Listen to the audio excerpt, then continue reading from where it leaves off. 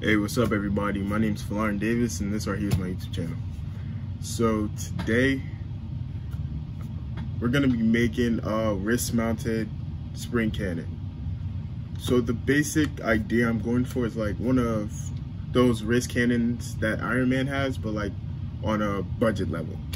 So basically the basic idea I'm going for is um, a spring-loaded cannon that can fit on my wrist and actually be triggered by a button on uh, that I'll put on my finger or something. So that's the basic concept I'm going for. And in this video, I'm gonna show you the CAD I do. I'm gonna show you the animation. I'm gonna show you me testing it out. I'm gonna show you good parts, the bad parts. I'm gonna show you everything. So, but before we start that, I wanna say please like, subscribe, comment, and yeah. So let's start. Okay, so now I just finished the CAD work for the spring-loaded rocket. So the basic principle I'm using with this is basic kinetic uh, potential energy stuff. So let me do the analysis. Basically, this servo right here holds the projectile in place right here. And this spring is being compressed. So right when this servo moves downward at about like 30 degrees, 40 degrees max, this spring will expand, releasing all that potential energy, turning it into kinetic energy and transferring it to this projectile here, which will cause it to move forward. I did make an animation of it, so I'll just show you guys that. And like that. That's the basic principle I'm going under.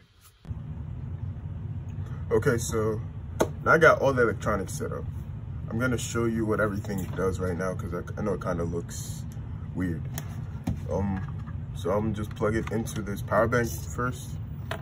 The first thing I'm gonna show you is the laser. So basically when I tap the button once, laser goes on. Tap it again, laser goes off. And this is just like a short tap. Then for this servo connected to the spring cannon, if I hold down the same button, okay, the servo moves a specified angle. I press it again, moves back. Press it again, moves back, and I press it again. Okay, so I, I am gonna have to change that delay because that's a long delay think I said it for three and a half times as long as the first one, but I might just change it to two and a half because that's very long. Okay, so now if I get the projectile that I made, gonna unload this real quick. Turn that laser off. So to load it's pretty simple. You just push the thing down the barrel hold it down,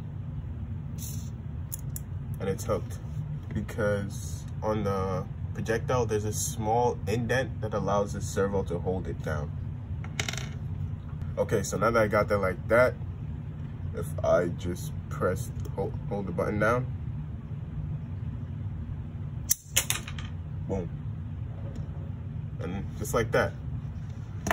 So now that I got it working, I am gonna get it to work my, with my Arduino Nano right here because I want to get this to be able to fit on my arm, maybe about this size or something. And the Mega is way too big for that. But I, so I'll just use the Arduino Nano. All right. So I just transferred everything to the Arduino Nano right now. And as you can see, it's much more compact. It looks uh, better. Yeah. I'm also I'm gonna test it out again to make sure everything works. I loaded up the new code, which uh, makes the long press much shorter, and I printed out some new projectiles so you can actually see what I'm talking about. So that right there, I'm not sure if you can see it, is the ridge where the servo holds them down so they can fly, so they don't just fly out. And these two uh, wings or fins right here I don't think they add any help in aerodynamics. They just look cool and they allow them to stay within the railing so I can load them in right every time. So yeah, now we're gonna test it one more time. Then after that, gonna, we're gonna solder everything, make a new body, and really test it out.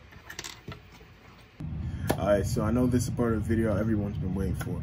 Finally, we're actually done with this thing. Like, I got it all put together. It's mountable on my wrist. I even have the ring thing for the button and everything. The laser. Yeah. So this project, I've been thinking about doing it for a couple months, but I only really actually got the concept and everything right now. Because if you even notice, I got like one, two, three, uh, probably got more, I just threw them away. I got different types of projectiles. I got different springs. I had I tried so many different ways to get this to work the right way. And finally, I'm actually at that point. So I'm gonna mount this on my wrist. I don't really have a mount. I'm just gonna use some double-sided mounting tape. Hopefully that sticks. I'm gonna use, cause I'm not gonna use hot glue. Um, I'm gonna use that mounted on my wrist. Put the ring on, see everything, if everything works. Try some shooting and everything, and yeah. All right, so what's up everybody? So right now we're gonna test the wrist cannon thing. As you can see, I still got it plugged in, so it won't work with it like that. So the basic idea is I got the pellet right here. I slide it in, press the button. Oh, it's not even on. Give me a second. It's plugged in right now. Laser on, laser off. I hold the button Wait, this one. Yes, I just want away. I'm going to try that one with song. I got a few more pellets.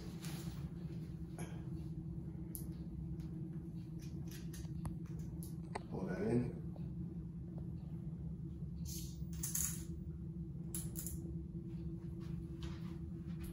Turn on, turn off.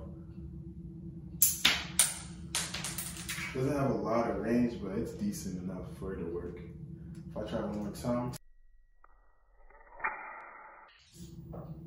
Okay, so this right here is the pellet going in slow motion. Okay, so we're finally at that time. This is the end of the video. So first I want to say thank you for reaching the end of the video. I really appreciate that. And second, I want to say I'm really happy that I actually reached this point in the project. That actually finished because I had to go through like six, seven different prototypes, hours of printing. Like it was just annoying. And even the code too was a little stressful. But I actually finished that. And second, I want to say, I have a lot of ideas for Mark II for this. So if you want to see that, just subscribe and turn on the post notification so you guys will be aware. Okay, so like, comment, subscribe, and I'm going to see you guys in the next one.